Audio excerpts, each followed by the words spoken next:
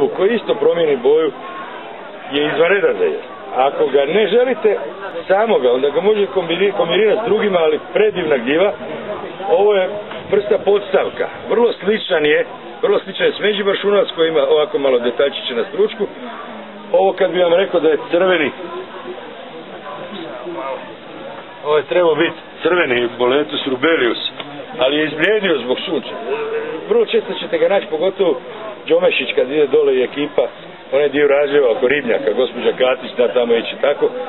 Nađete ga na stazi jako puno. Crveni je prekrasan je crven, izvanredan je za jest. Izvanredan za jest. Sad kad ja vam kažem da ovo crveno nije, onda izgleda malo čudno, kao da sam političar pa vam prodajem neke ideje, ali on je bio samo izlijedio.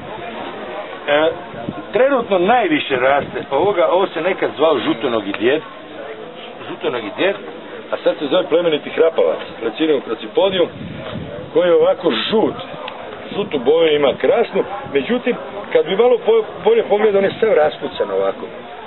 Dakle, on je isto tako jesti, međutim, jako loše kvalitete. Paš ako nemate neki gljiv, onda uzmite, ali moj savjet da ga ostavite u šumi. E, sad smo došli do par izvrsnih gljiva. Ovo ovdje, ovo ovdje je e, lažna kraljevka ili boletus pseudoregius, Kraljevka je inače izlasna gljiva, ove godine je bilo našta more, zakonom zaštićena, a se niko ne drži tog zakona, koja ima boju maline. Ovako, boju maline, a dole je izvanredno žuta, ovo su stari primjer. A, ne a lažna kraljevka je ista stvar, sve ima isto, samo je razlika u jednom. Kod lažne kraljevke, kad, ovako stisnete prstom, cjepčice odmah poplave. A kod kraljevke nikad ne poplave, uvijek postoji žut. Izvanredna gljiva za jest, e, fantazija, mislim da je taj pravilnik zakon o gljivama još ne postoji koji je zaštićuje, mislim da je malo bez veze donešen, jer mi smo neke gljive štitili u kršicima i sad su posjeku šumu i više nema, ovaj drveće nema ni gljiva, normalno. Tako da mislim, neke odredbe u pravilniku ne stavili, o to ćemo pričati. Izvanredna za jest, prekrasno. Ovo je na primjer Fechterov vargalj koji je jako sličan. Fechterov vargalj dosta rijeda koji ima pri dnu malo crvenkast, isto je tako žut, isto na pritisak žuti. Predivnu boju zna biti nekad uslijed, uslijed suše dosta sive boje. E, kažem, najviše vas zanimaju varganjevke, pa tu ljudi obično posvetno dosta pažnje. E, međutim, pažnju najveću treba posvetiti ovdje. Ovo je gljiva, najsmrtonosnija gljiva u Hrvatskoj. Postoji nešto smrtonosnije, a to se zove e, gljiva koja raste na na klasu raži, ali to niko ne gleda. Ovo je, nažalost, dosta je već loše, ali smo jučer ubrali, danas nismo ni jednu našli. To je zelena pupavka, Amanita faloides. Strahovito otrov. Ovo je jedna gljiva je dovoljno dobije do 5-6 ljudi. Ovo je jedna mala. Možete je sad osušiti. I nakon 100 godina neke reko koristi, ona opet ubije. Možete pržiti, peć, sušiti, radite, ne može jednostavno nikakva termička obrada, ništa ne može spriječiti.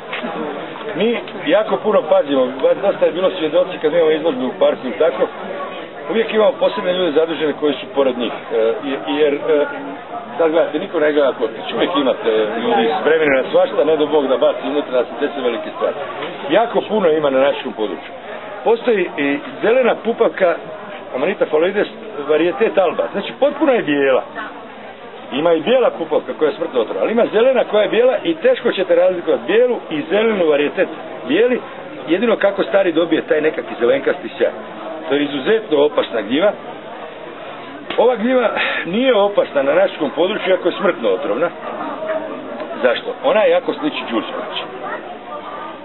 Ali da raščistimo odmah pojmove. Vi Đurđevač u stvari zovete šljivovač, ono što beremo po šljivicima. To su druge gljive. Đurđevac se izgleda potpuno isto ovako. Raste u proljeće, raste, ja je berem dosta često uz vučicu kad idem prema Latićima pa uz vučicu ono pomoći. Gotovo je ista. Jedino ova olovasta rudolika, rudoliska antoloma sinuatum ima crvenkaste listiće i izrazito miriše po brašu. Ja ću vam dati ako ćete pomirišati to, ali, ali e, te gljive stoje kod mene od juče. Juče sam ubro, pa onda one već promijene malo miris. Tako da ne možete dobiti ona. Ona često ima ovako nakaradno zadebljanje stručka, ali ne mora biti, može imati vrlo tanko. Treba pripaziti na nju. Izrazito kao miriši na brašnu, smrtno otrovna gljiva isto tako. Krajevi koji beru đuđevače je koriste kod nas srećom, ne, ali je jako puno raste. Sad je i možete naći po šumama dosta. Ja bih vam htio skrenuti najviše pažnju na, na ovaj rod. Ovo je e, Ovo je budućnost gljivarstva, ne samo u Hrvatskoj, nego širom. Varganja će biti sve manje, jer se šume sve više i više cijeku, jer sve više i više ljudi ide u gljive, ne samo što nas ima 400 članova gljivarstva, jer u naštama ide 5 tisuća ljudi u gljive, ovaj rod se zovu krasnice ili rusile. Ima ih negdje za sada poznatih oko 240 vrsta, od toga postoje samo dvije otrove. I to nisu smrtno. Postoje bljuvare koje su ovako male, crvene, bijele listić bljuvara i brezova bljuvara. Ostale nisu uopće otrovne i jedino ih ne može djeca smrde. Smrde, na primjer, ova je smrdača. Smrdača ima više varijanti. Ima smrdača, ova, ova smrdi zato što je trula. Međutim, smrdi postoji kod nas jako puno e, bademove krasnice, isto tako iz tog roda, koja miriši po bademima krasni, ali nisu za jest. Neće vam ništa biti ako ih jedete, ali nisu za jest, to smrdi i ko će to spremati. Ovo je gljiva uvjerljivo najbolja za veliku većinu. Zove se golubica i mi zovemo golubača. Sad je u novoj literaturi zovu krastava krasnica, zato što ima kao kraste. Izvanredno. Moja žena ih najviše voli spremat tako da uzme ovakve primjerke, odlomi, odlomi stručak i ovo ostavi. Onda stručke i sve ove starije isjecka sitno, pomješa, može malo slanine, može šunke, može salave, šta imate kod kuće, stavite mrvice krušne sa par žumanjaka i napunite. I onda ih stavite u pečnicu, zapečete 15 do 20 minuta. Ko voli vrhlje, izvan red nešto. Možete jesti hladno i sve. Prekrasna gljiva. Sada je, kad krenu gljive okolo, možete, možete naći svagdje. Ja znam teren na kojem je sad da odem na vrću 10 kila. Izvanredno nešto, nešto prekrasno. Čak i možete i sirovo jesti, ne u velikim količinama, jer u sirovo možete jesti samo sirog ili prestac, nažalost nema, nema ga sada, to svi znaju tu većina što je, i blagu. Ostale gljive možete i varganje jesti.